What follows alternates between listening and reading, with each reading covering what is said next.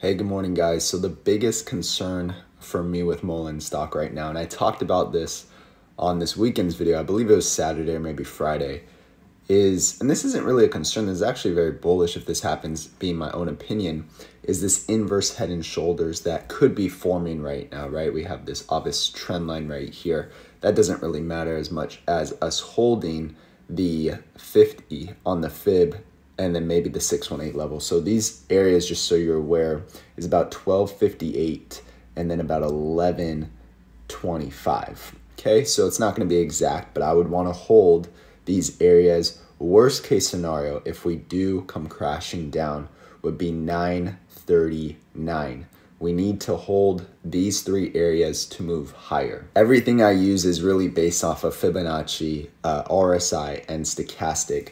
The RSI is actually doing something different that it's never done. It actually broke its most recent high of about 45, 46 on the RSI right here on a daily time frame, which before it hits it and then it pulls back and we make new all-time lows. You can see right here, we're building some nice structure we're not making new all-time lows. We're actually making higher lows and we're climbing. So I would think that we would come right back down. Like I said on Saturday's video, we're already pulling back right now in pre-market. We're at 1360 as I'm making this video. It is 5.51 a.m. Pacific Standard Time.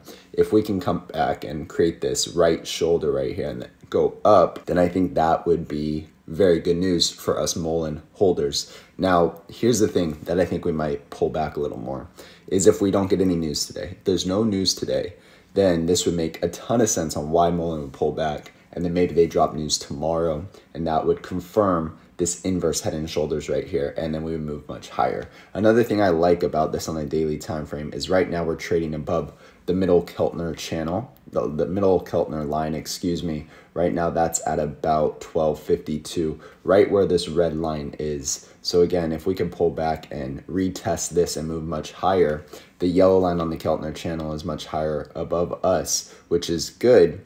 Um, but we know what happened last time we actually ran up. We came down, we ran back up. We didn't break the old high of 1874 we actually got as high as about 18 or 1798 so these are just some things i wanted to update you on just a technical standpoint because i think mullen is moving based off technicals i think the dilution has slowed down obviously we've had good news come out but these would be areas that i would be looking probably to enter in um, again this is not financial advice this is just my own opinion and this is just with looking at the charts and looking at the news more positive news for ev companies like Tesla, Tesla delivery numbers are out. Tesla produced about 495,000 vehicles and delivered 484,000, which is crazy. When you think about Mullen, Mullen delivered like 50 class one vans and then like 75 or something class three. So it's crazy what a company can turn into.